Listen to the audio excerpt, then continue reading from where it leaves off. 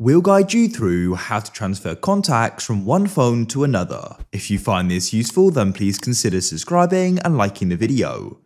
Perhaps you got and switch phones and so you want to go and take your contacts with you. To go and get started with this, what we need to do is we need to go and open up the settings app on our phone, just like so. Then what you need to do is go and scroll down and go and find the option for Google and tap there. In the Google, press all services. Go and scroll down and you need to go and find the option for Google Contact Sync and tap there. What we need to do is you need to go and make sure if you click status that this is switched on, refresh it just to make sure that it's up to date, and you can also go and switch on your device contacts as well. Come onto the other phone and what you need to do is go and open up the settings, go and scroll down and go and find the option for Google.